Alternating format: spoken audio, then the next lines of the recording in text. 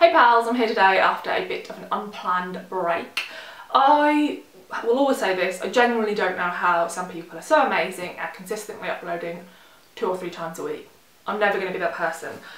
Work's been really busy lately and so as soon as I finish work I just want to like turn off and not have to think about anything where I need to be analytical or articulate, which are two things I strive to be on this channel. Don't know if that actually works.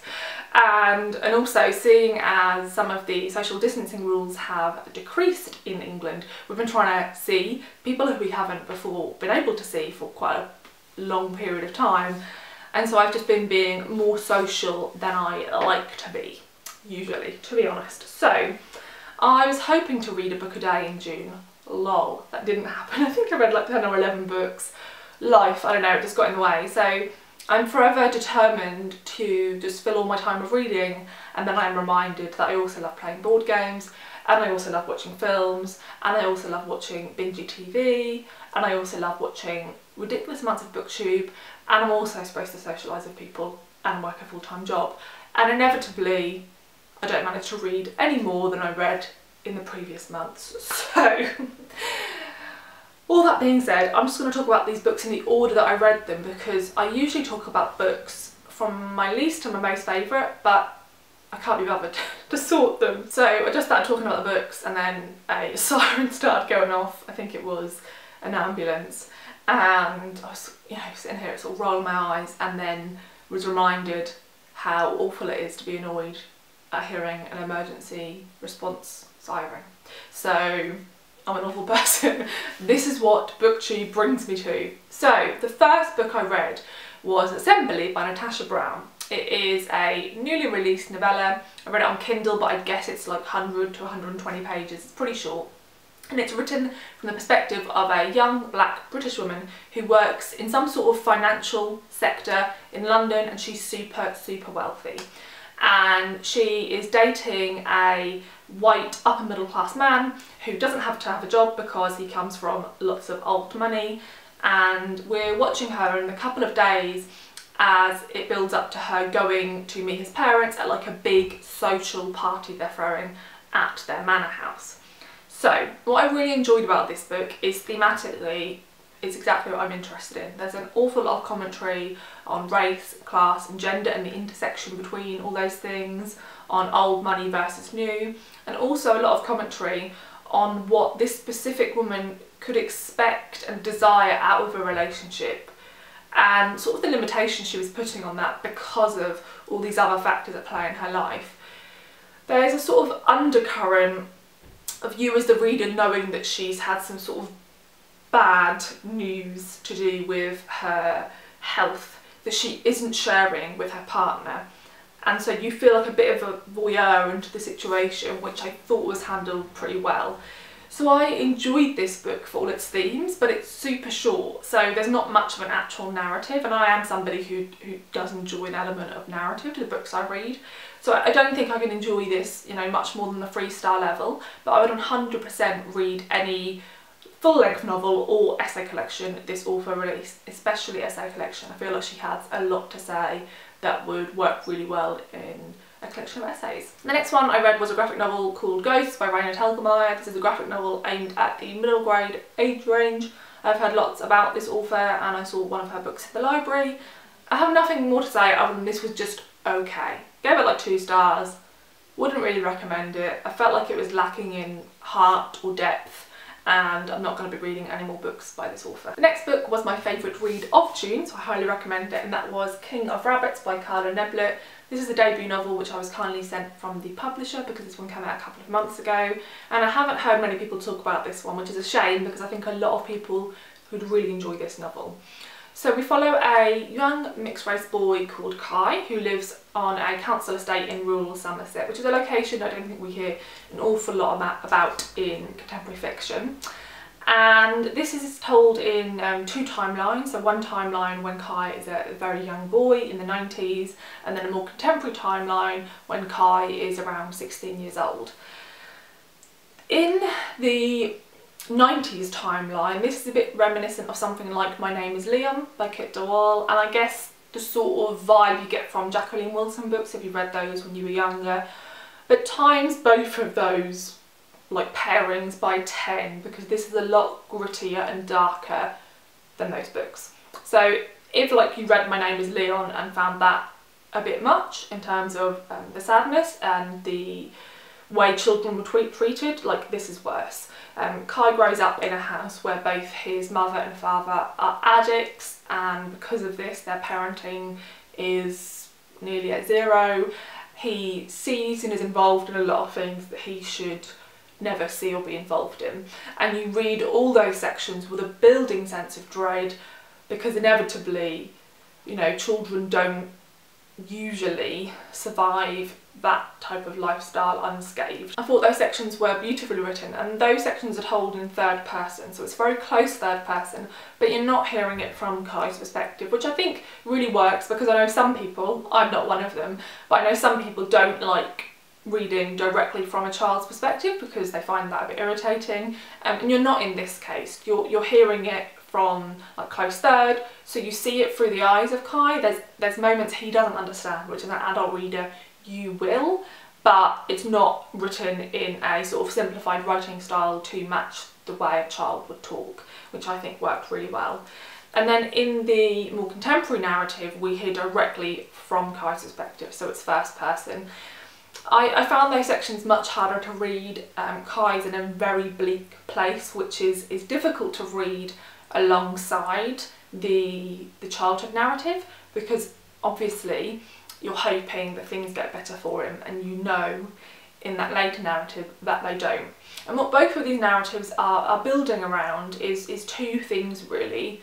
One is that in the 90s narrative, um, Kai absolutely idolises his father, but we find out very early on that his father is involved in lots of criminal activity, which you know we think is going to build towards something.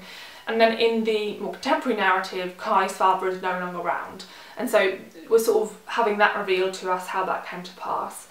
And the other thing is, in the 90s narrative, Kai has a, a girl at school who is his best friend who he completely loves and adores and he is talking about her in the contemporary narrative and how much he misses her and how much he regrets. And so we're also aware that there's something that happened with her that is going to be revealed, which you know is something you find out um, much later on in the book. I thought this was absolutely brilliant. I'd give this like four and a half stars. I would read everything this author brings out in future. I'd highly recommend it, like I say, if you think that you could read something that's like, my name is Leon, but way more difficult. Um, I did find the more contemporary sections quite quite depressing because they are, um, but they were still really beautifully written. I think she has a really good sense of place. I could picture every single room in their house. I could picture all the outdoor spaces that Kai spent time in. Um, all these people felt really um, true and honest and they didn't feel like they'd been made into caricatures in order to um, you know increase the drama. They felt like real true people who were making genuine mistakes. And even at moments when you intensely disliked somebody um, for letting Kai down so greatly, I think this book always told their story in a way where you always empathised because you always understood that you were from a different place to them.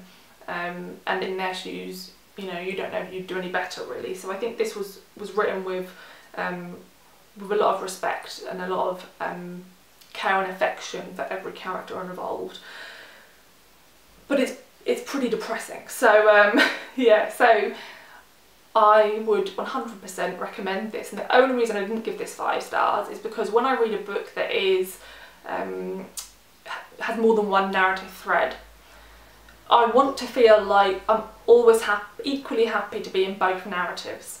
And I didn't feel that way. I felt like I preferred being in the 90s narrative and so that just slightly lessened the book, like the tiniest bit for me because, you know, I don't want to feel that way really.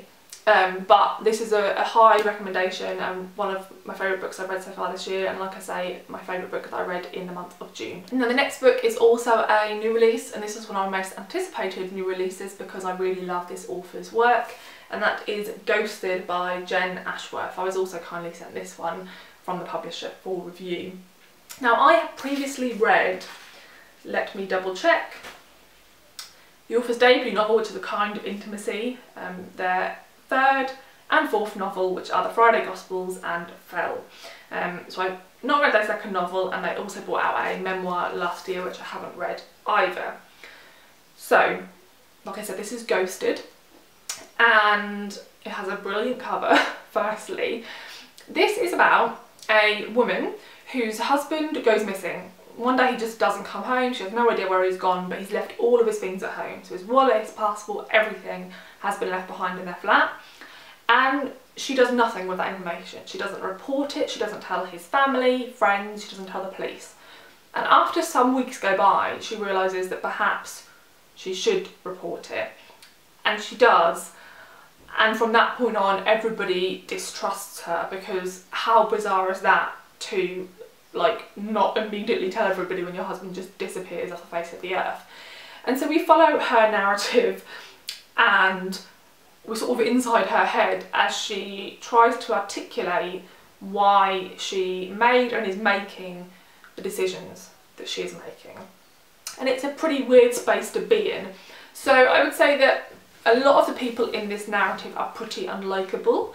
Um, a big element of this narrative is that Laurie has a father who she has a pretty difficult relationship with who has Alzheimer's and when she visits him like difficult things come up and his remembrance of events we are unsure whether he's misremembering them because of his Alzheimer's or whether Laurie tells us he's misremembering them because she can because because of his condition we're unsure and so she sort of through him allowing herself to rewrite history A character who is really likeable is his carer. Um, I really liked her as a character. Um, she was very strong-willed and forthright and I thought she was a good counterpart to Laurie. Now, what I'll say about this is the most recent Jenn Ashworth novel I read was her first novel, which is A Kind of Intimacy. And the concept of that novel is that a woman moves to a new neighbourhood and she becomes obsessed with the man who lives next door with his partner, like properly hardcore obsessed. And she's super weird and she does really odd stalkery things and we know that she has some sort of history, some secrets that we want to uncover. And this, Jenn Ashworth's newest novel, felt very similar in theme and also in tone. Um, so when I read A Kind of an Intimacy and when I read Ghosted, I got this sort of feeling of like, like, you're like a voyeur to something that's a bit dirty and like sordid, right? And a little bit twisted. And you don't really know if you want to be a voyeur to that thing, which I think is like very well done. That's obviously what Jenn Ashworth is setting out to do. Um, I don't know how much I enjoy it as a reader. And I also think that having read a kind of intimacy and, and giving it like a three star and then reading this one and feeling like it's sort of playing with very similar themes and, and plot points, it didn't feel different enough from one of her other novels, I think. So I think if you've come to Jenn Ashworth and you haven't read A Kind of Intimacy yet, then you might enjoy this one more than I did. I think I'd enjoy this one more if I hadn't read A Kind of Intimacy. Um, I think which is always interesting about an author's work because if you read read them like completely as standalones, then that's one thing. But if you read them knowing about their other body of work, then you, you will notice repetitive themes, um, which can lessen um, the individual merit of each book or like the individual success for you as a reader of each book. So yeah, I enjoyed this one. I think she can write brilliantly, but I've said this time and time again, I'm not great at unlikable protagonists, and she is pretty unlikable um, as are most of the characters involved. Um, this is very bleak, this is very slow.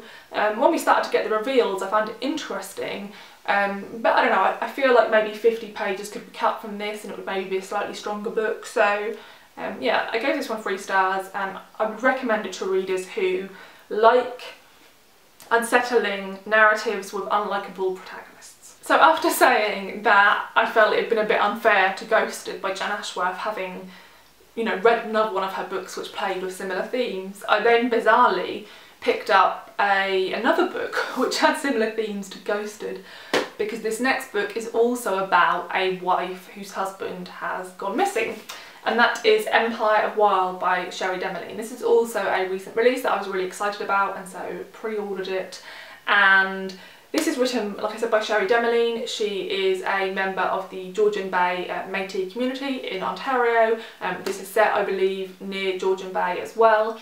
And this opens when our protagonist's husband has been missing for over a year. She's absolutely devastated until still trying to find him. And after going on like an all-night bender with her cousin, she is at a Walmart the next day to get like hangover supplies and she sees a revival tent in the car park. And she thinks it's like a circus or something, so she's sort of drunkenly drawn to it. And when she goes in, she realises that it is actually a Baptist revival tent and that the preacher is her missing husband. This man is immediately surrounded by other members of this um, Baptist congregation, all of whom deny that he is the man he, she says he is, and he also says that he is not her husband.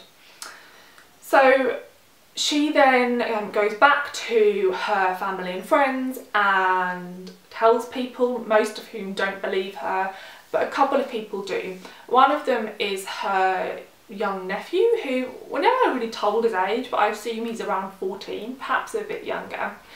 And another is her grandmother's sister who also believes her. Now, her grandmother's sister believes that her husband um, could have been taken by the Rougarou, I think that's how you say it, but I apologise if not.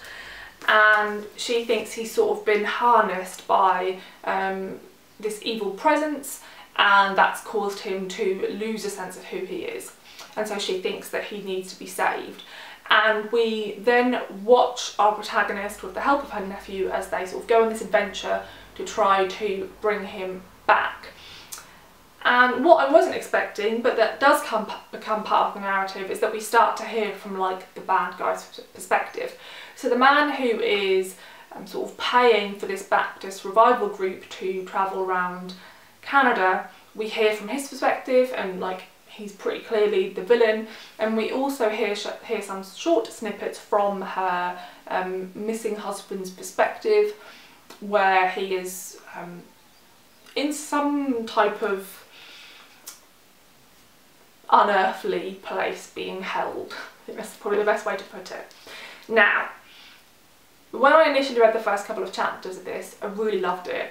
It just opens um, before she she sees this man who she thinks is her husband um, and she, it's like a normal day. She goes around to have dinner um, with her mother and her grandmother and her brothers. Um, the sort of family dynamic really worked for me, just the descriptions of the homes um, and the environment and the people, I could really picture it all and it had this really immediately believable feeling to it. Like I could, I could within a few pages of being introduced to these people, I could see their community, I could see the homes they lived in, um, I, I understood their concerns and their desires.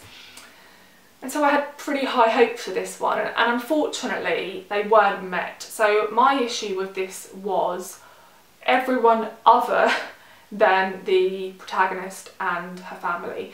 I felt that all the like the baddies, which is this man who runs the Baptist revival group, and then all the other people in that community were like paper thin, incredibly tropey. Um, there's one woman who's part of um, the Baptist group who ran away from some sort of cult she got involved in. Um, I thought that was incredibly stereotypical. Um, like I said, the bad guy was really stereotypical, and there was also just a couple of points, and particularly when describing the baddies, that I felt were like, like just badly written. So, like this for example, a man in a black suit and a grey fedora in this improbable heat, his red bow tie the colour of shock and murder. Thought that was awful. If her heart was a song, someone smashed the bass drum and pulled all of the strings off the guitar. Notes fell like hail, plinking into the soft basket of her guts. That was pretty bad too. And then another one, there's just some descriptions that like just didn't make sense to me. The seated figure gave a deep laugh. The sound filled the clearing like vomit, like a menacing growl. how can a sound fill a space like vomit? I don't know, do you know? so yeah, sadly,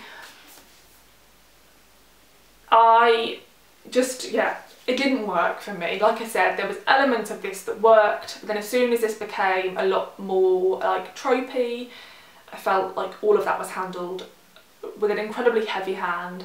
Um, and also I just think an editor should have been doing a lot more crossing out and question marks on some of the um, descriptions in this narrative. So didn't work for me. I think there's going to be loads of people who enjoy um, more fast-paced, plot-driven narratives who this will work for, but I'm not one of them. The next one is a library book that I've also returned and that is Sisters by Daisy Johnson. I requested this at my library like I think last October and then it took this long to get to me because of all the various lockdowns in England which is absolutely fine because I actually think this worked quite well as a sort of spring summer read. I read this in one afternoon sitting out in my garden when it was really warm and I think that worked really well for it. So this is a pretty short novel and this is about two sisters who have moved to a sort of old broken down house with their mother who is clearly suffering from some sort of period of really severe depression and we're told that that is brought on by something the girls did and the narrative sort of dances around what the girls did. The book is filled with menace and building dread which is pretty much there from the start and gets almost unbearable at points, at least for me. So these sisters are fucked up and the older sister gets the younger sister to do some pretty twisted things. It's very clear there is a relationship here of um, significant abuse and control and I always think this is really interesting when this is done between siblings because my thought always is if you've been raised like that by somebody who supposedly loves you then how would you know any different because like you don't know a life without them I also thought it was really interesting how when we saw moments from the past, we saw how the mother had tried to um, like get closer to both of the girls as individuals, but was really sort of blocked out of having any form of bond with either of them because of this unbreakable bond they had between them. And being pretty vague with the plot here, and that's because the book is pretty vague throughout. So I had an assumption, I had two assumptions really, um, that were pretty different. I'm not going to say what either of them are. One of them was correct and I had a look at the reviews for this and this has actually got a fairly low rating on Goodreads. I think it's sitting at like 3.50 and a lot of those poor reviews were because people said that the the twist, like where this book went, was incredibly obvious. And actually, when I finished this book, I came in to tell John, and he was like, "Oh, that's so overdone. Like we've seen so many films that use that narrative. Like, like why do people continue to do it? And I sort of saw Johnny and all the others reviewers' points. However, I think the author writes beautifully. Um, I've read all of her previous books and yeah, she writes truly beautifully. Um, some people said like her writing's a bit pretentious, I don't know. Her writing is incredibly descriptive, um, very aware of um, the natural world and also um, the physicality of having a body, so it's very sensual, um, and sometimes it's sensual to the point of, like, I guess like disgust. It borders that edge between something being um, beautiful and something being horrifying, which I enjoy. I'd read anything this author wrote. Yes, the narrative is probably a bit overdone, and yes, you could probably see where it was going to go, um, but I think those final few pages gave what the author desired to me, which is I read them with this sort of horror slash elation and then this massive thud down to earth as I realised what had actually happened. And this is one of those books where I gave it four stars when I finished it because I was like brilliant. And probably now like reconsidering it, it it will probably be a bit forgettable because the story in and of itself isn't anything spectacular. So maybe a three stars is more appropriate, but I think this is beautifully written and yeah, so I don't know. if you enjoy, if you've read Daisy Johnson, like I preferred this to her previous novel. Um, I thought it was stronger than that, but I probably still think her short stories were stronger than, than either novel and that's because what I think is truly spectacular about her is her writing and the themes she focuses on and I think writing and themes excel much more in short stories than they do in novels. Do you agree? The next one I want to talk about is another new release that was kindly sent by the publishers and that is Of Women and Salt by Gabriela Garcia. So I initially was super excited to read this book because it is badged as a novel about a family of Cuban women and I was like, I love stories about women, basically, and haven't read any, I don't think, about women from Cuba. But then when this arrived in post, I was a bit put off by this family tree on the back, which may sound odd because I know a family tree excites lots of readers. The reason the family tree made me feel a bit nervy about this book is because I've realised I don't really enjoy like epic stories, so I don't enjoy stories that we spend some time with one character and then just as you're building up to this epic moment in their lives, we jump forward 20 years and suddenly that character becomes like not super important because we're now focusing on their child. That's not really something I enjoy. However, that isn't what this book does. This book is an interesting one because I feel like this has been badged as a novel. Um, and I think a lot of people might come to this and feel like it's lacking that thread that draws a novel together, like it's lacking um, that, that plot arc. And I sort of agree. I, I feel like this could have been badged as a collection of interlinked short stories, but then, uh, you know, some people who like to read short stories would have come to this and been like, oh, this feels too much like a novel. So it's, it's probably one of those books that could never win in the way it was going to be sold, but it really worked for me nonetheless. So we're following a, a group of women, mainly who are all related to one another, and the earliest we go back is I think the 1860s in Cuba, and then we come all the way up to the present day in Miami, which is where some of the descendants of the family from Cuba now live. And we're also following um, a woman and her daughter who are neighbours of the contemporary, I guess, I don't even know how many great granddaughters, but one of the um, woman who is probably in her 30s who lives in Miami. Um, and her neighbours are Salvadorian by nationality and right at the start of the narrative um, the mother is taken to a detention centre because um, she doesn't have the appropriate um, visa to, to be in the US. And so the rest of the narrative is us um, jumping around these, these Cuban women and also um, sporadically hearing the story from um, the Salvadorian mother and Salvadorian daughter's perspective. I think independently as short stories these were great. Um, a couple of these really stood out. I particularly enjoyed um, Carmen. So Carmen is uh, the mother of Jeanette and she's probably, I don't know, in like her 60s. And I just thought she was a super compelling character. Um, there's a moment where she's trying to host the dinner party um, and her daughter Jeanette is a recovering addict and so there's lots of tension around that and her wanting this dinner party to be perfect and she's she's clearly quite controlling and it, it's sort of trying to keep um, all of her family in these little boxes. She doesn't want anyone to know anyone else's secrets and she doesn't want anything that could be construed as sort of gossip and at the same time as that is happening um, she sees some blood near her neighbour's house and she hears a growling from the house. Um, and throughout this dinner party she keeps sort of thinking about that and thinking whether she should do something about it. Um, and we sort of follow um, this dinner party and, and her decision as to whether to sort of investigate the blood and the growls from the neighbour's house. And, and I just thought it was excellent. Um, I enjoyed every section that was from um, from Jean's perspective. I thought her story was really intriguing. Um, her story was told out of order. So we meet her in this sort of contemporary time period where she is um, recovering from being an addict and she's um, broken up from this man who she had this sort of toxic, addictive relationship with. Um, and then we go back into the past and see how she became an addict I just thought it was really well written. I really liked all these women. I'd read anything this author brought out in the future. I'd be super happy if she brought out a novel. I'd be super happy if she brought out a short story collection because she clearly do both very well. So there's that one. Then the next one is book four in an epic fantasy series and that is Shadows Return by Lynn Flewelling. So this is book four in the Night Runner series and I read the first three books quite a few years ago.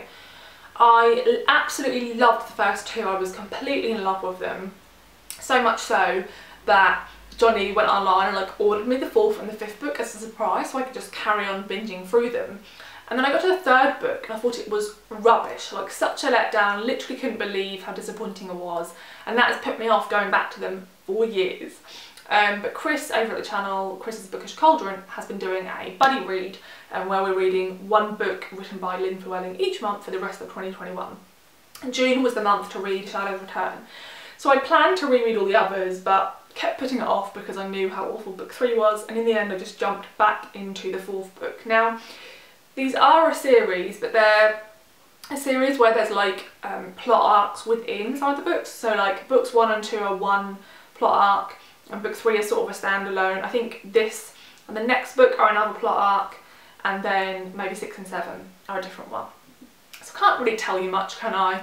Um, we follow two men called Alex and Seregil who are in a queer relationship with one another and they have faced many sort of awful things together in the previous books and there's some characters we know and love um, and they are trained spies and thieves and they've previously worked for um, the royal family as a group of um, sort of secret spies called the Night Runners.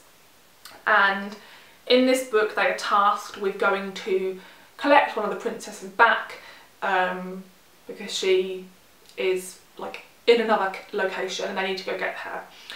And on the way something kicks off which sort of results in Alex and Sarah Seregil being in a pretty dire situation for the majority of the book. So um, I was okay with it. I mean, there is um, some pretty horrible scenes in this book, like um, torture and stuff like that. I mean, fantasy is a weird thing. I feel like fantasy can get away with more, um, more violent scenes than than like a contemporary like realistic book could because it's it's sort of not in our world so it doesn't feel quite as awful um, and I, I, will say like I've read worse stuff than this in like some of the Robin Hobb Realm of the Elderlings books but this wasn't particularly nice um, and I, I read a lot of reviews where people said they struggled with it I really I mean like I don't love this book um, I think the like the plot itself wasn't anything super special, um, but I liked the characters. It was certainly stronger than the last one, and I gave this four stars. I just got a lot of joy out of it. Um, I read it really quickly in like two days, and it reminded me again. I said this all the time of how much I love reading fantasy, how much joy it brings me, and how I need to fit it in to my like monthly reading on a much more regular basis because I used to read so much more um, and you know I've had so many duds with fantasy um, but there are still some gems out there that I will enjoy. So I'm going to carry on reading the fifth one this month. Then another new release, this is one I borrowed from the library and that is The Hard Crowd by Rachel Kushner. This is a collection of collected essays and I wanted to give this a go mainly because it's got a really cool cover, has it not? Um, and I, I, I keep thinking that I will like essay collections and so I want to read more of them and I thought this one might work for me. Sadly I wasn't really a massive fan of this one. I was lured in by the first essay which I thought was excellent, it was a personal essay and there was a couple of other personal essays throughout the collection which I enjoyed um, but the majority of these essays are actually like criticism on like books, film, art, all those sorts of things. Rachel Kushner knows a lot of famous people which is mentioned quite a lot. She's incredibly intelligent um, very intellectual and because she was talking about books I hadn't read, films I hadn't watched and art I haven't heard of, all of which I had no interest in. Um, this just was a massive disappointment. I was just clearly the wrong reader. Um, that I kept reading in the hope that there would be more personal essays because I'd so enjoyed that first personal essay. So I think if you enjoy criticism um, if you're interested in the types of thing Rachel Kushner is interested in, this will work for you. What I'd recommend is like trying to find a copy of this in a bookshop or a library um, and flicking through the content page and seeing if she's talking about books, films and art that you are intrigued by and if she isn't then this probably won't work for you either but what do I know? The next one is another one I've taken back to the library and that is The Night Watch by Louise Erdrich. So I did a recent library book haul and quite a few people commented saying that this one had just won the Pulitzer, which I had no idea, it's not a prize I follow. And so I thought I'd best read this because I'm pretty sure more people are going to be requesting it because it's just won the Pulitzer. And actually I took it back the other day and saw another couple of copies. The library's obviously stocked up on them. So I previously read The Roundhouse by this author many years ago and really enjoyed it and always meant to go back and read more of her books. So I'm very glad I got to this one. So this is um, set in the early 1950s and it is um, set near the Turtle Mountain Reservation in rural North Dakota and it follows a man who is um, the night watchman at a factory and he is also a Chippewa Council member. This narrative is based on Louise Erdrich's own grandfather, okay?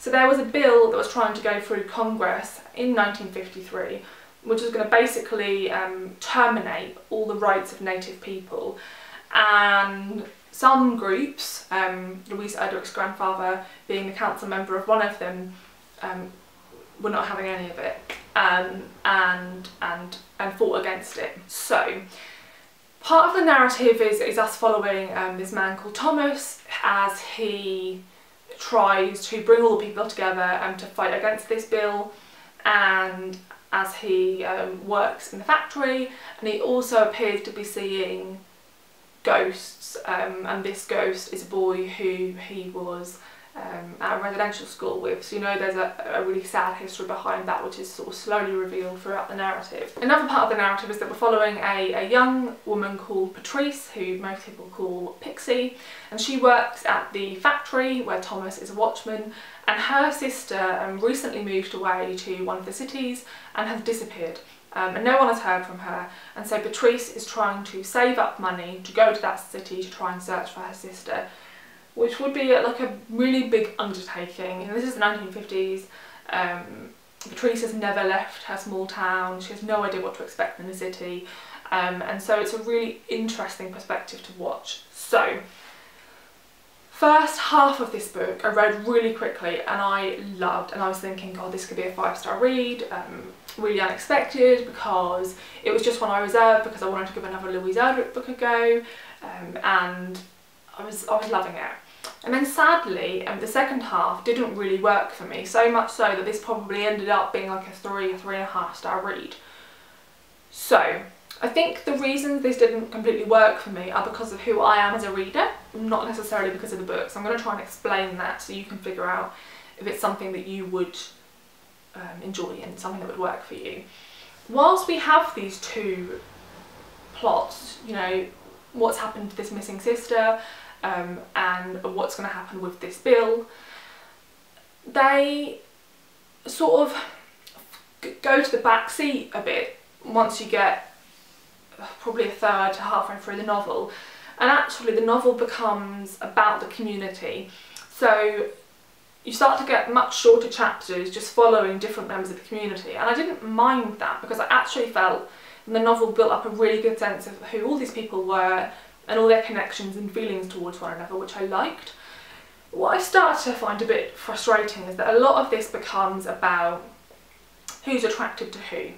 Um, Patrice is clearly a very attractive woman um, and initially two men are interested in her um, and that becomes quite a big point and, and another point in the narrative Patrice becomes um, really engrossed in the idea of losing her virginity after having a conversation with one of her friends about like exactly what sex is and I don't know I just found that a bit odd like her sister is missing she is she understands that her sister wherever she is is probably being held against her will in pretty dire situation um, but instead we just follow her for ages thinking about how she's going to lose her virginity um, the men that fancy her and which one she should approach about it. And the second half of the book, again, another narrative that, that really comes into play is that there's these two Mormon men who um, started going around this community door to door to try and convert people.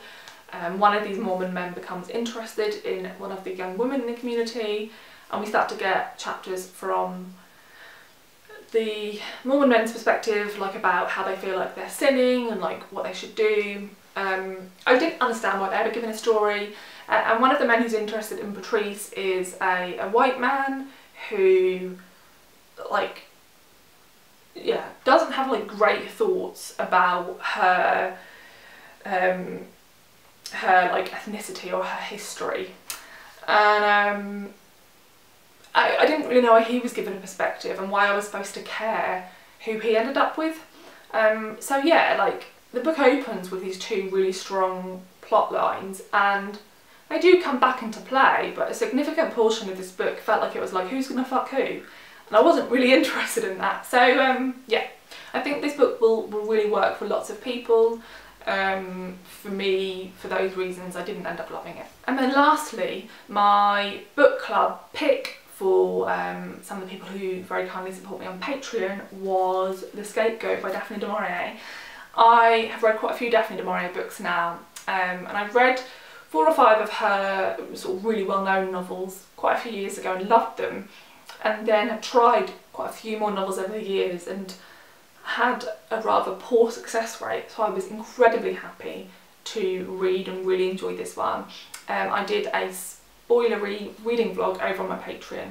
Um, if you are interested, it's always linked down below.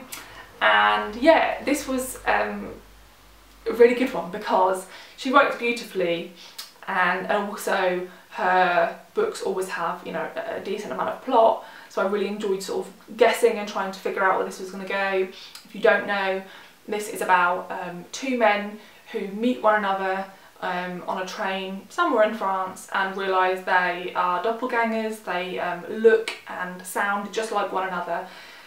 And the Englishman, John, is a French professor, so he speaks French very well um, and he knows a lot about like French customs and history. Um, they go on like an all-night bender together and when the Englishman wakes up the next morning, the Frenchman has stolen his identity. So he thinks, well, what should I do like? should I go to the police or should I steal his life back? And that's what he does. And then you follow um, like what happens after that as he tries to um, take on the life of this Frenchman and like trick all of this Frenchman's relatives into thinking that he is the real Jean because they've got the same name as well. so um, I really enjoyed this.